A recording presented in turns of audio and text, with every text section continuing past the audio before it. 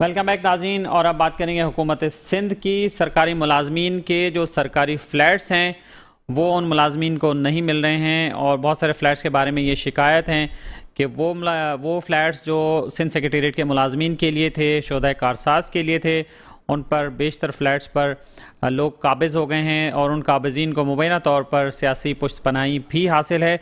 और उसके अलावा महकमा सर्विसज़ एंड जनरल एडमिनिस्ट्रेशन, जो कि हुकूमत सिंध का एक महकमा है वो कब्ज़े खाली कराने में मुबैना तौर पर नाकाम है और कब्ज़े खाली कराने के बजाय वो उन फ्लैट्स को खाली कराने पर ज़ोर दे रहा है जहाँ पर ऑलरेडी सरकारी मुलाजमीन रहायश पजीर हैं।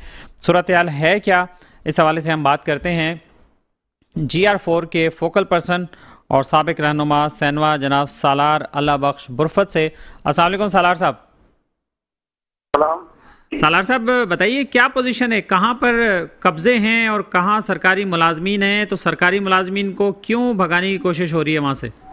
दरअसल में ये हमारी जी आर फोर की जो स्कीम थी वो 2019 से शुरू हुई थी एक एडीपी की मार्फत में। इस वक्त स्कीम पे 100 परसेंट रिलीज़ हो चुकी है पर काम वहाँ 20 परसेंट है।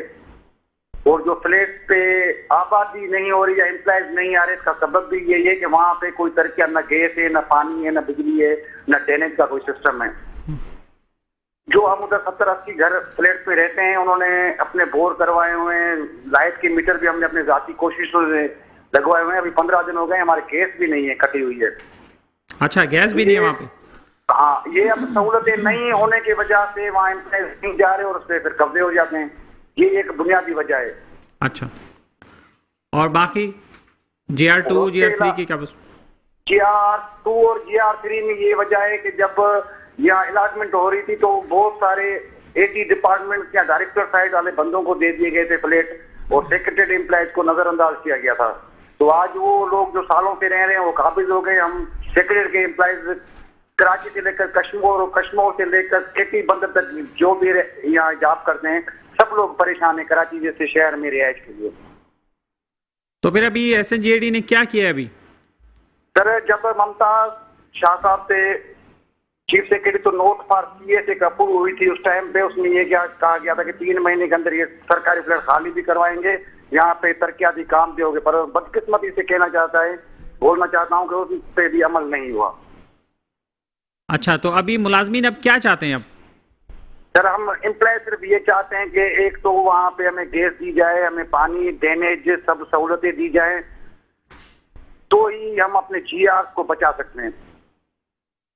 अच्छा और जो नहीं हो जी जी आप जो बाकी बाकी जी में जो सरकारी मुलाजमीन रह रहे हैं वो कोई क्या बता रहा था कि 40 साल से रह रहे हैं कोई 50 साल से रह रहे हैं तो वो भी तो सरकारी मुलाजिम है तो फिर वो उनको निकालने की क्यों कोशिश हो रही है? सर सरकारी मुलाजिम तो पूरे सिंध के अंदर है पर ये फ्लैट सिंध सेक्रेटरी एम्प्लॉयज़ के लिए थे। अच्छा। तो इसलिए हम कहते हैं कि सिंध सेक्रेटरी एम्प्लॉयज़ का पहला हक है उनकी रिहायश उनके बच्चों का तहफ़ पहला हक है। उसके बाद अगर बच्चे तो दे दें हमें कोई एतराज़ नहीं है। तो ये उस वक्त उस वक्त ये आवाज़ क्यों नहीं उठाई गई थी जब उन्हें वहाँ उस वक्त बिठाया जा रहा था तो हमारे पचास साल तो मेरी एज भी नहीं है हमारी पैदाइश से पहले की बातें उस वक्त इंतजामिया की क्या पॉलिसी थी वो उनको ही पता। तो इस वक्त हमारी पॉलिसी ये है कि सिंध सेक्रेटरीट या गवर्नर हाउस सीएम हाउस या जो भी हमारी फाइनेंस डिपार्टमेंट है पी एन डी इनके लोगों को ये घर दिए जाए। वो सेक्रेटरी के अंदर इस महँगाई के दौर में एक नायब कासिद एक दफ्तरी एक ड्राइवर बहुत परेशान है रिहायश के लिए। तो ये, तो ये आप लोगों की जो तंजीम है जो सैनवा के नाम से एक आप लोगों की बड़ी पावरफुल तंजीम है तो उसने अब तक क्या किया इस हवाले से? सनवा के लिए ये ये कहूँगा नाहिल असा जो मालिया मुझे इन चमन जो छा थींदो सनवा की मौजूदा क्यादत बिल्कुल नाहिल है इसी वजह से ये मसले बढ़ गए हैं। तो अब आपका लाहेमल क्या होगा अगर ये इस पर फौरी तवज्जो नहीं देती तो? जो सेक्रेटरी जीए साहब है खोसो साहब है उन्होंने जाती कोशिश की है नोट पास किए तीन दिन पहले पास हुआ है। तनवीर कलवर साहब है सी है इंजीनियर है वर्क सर्विस के उसने भी जाती कोशिश की है। कल भी टीम आई थी जी आर फोर के अंदर जो विज़िट कर चुकी है उन्होंने यकीन दहानी करवाई है कि 10 से 20 दिनों के अंदर आपके मसले हल करेंगे हम। और हम उम्मीद करते हैं जो नया चीफ सेक्रेटरी सेक्रेटरी जीए साहब है, जिस तरह चार पाँच दिनों में हमसे ताउन हुआ है तो इंशाल्लाह हमारे मसले हल होंगे। चलें, सालार बुरफत साहब, बहुत शुक्रिया आपका। आप टेलीफोन लाइन पर हमारे साथ मौजूद रहे हैं और नाजिन ये सरकारी फ़्लैट्स के हवाले से बात हो रही थी। लांडी में फ़्लैट्स हैं G R two G R three G R four और सिंध सेक्रेटेरिएट के एम्प्लॉयज़ ये कहते हैं कि ये फ़्लैट्स उनके लिए तामीर हुए थे और उन्हें मिलने चाहिए। लेकिन उससे पहले और भी जो सरकारी मुलाजमीन हैं, मुख्तलिफ़ महकमों के, वो वहाँ पर रिहाइश पजीर हैं और कुछ लोग बता रहे हैं कि वो चालीस साल से वहाँ रह रहे हैं, कुछ पचास साल से रहे हैं। उनके पास भी ऑफिशियल अलाटमेंट के ऑर्डर्स मौजूद हैं। आप देखिए कि इस पर क्या सूरत होती है। फॉलोअप भी इसको, आपको बताएँगे हम इस इशू पर।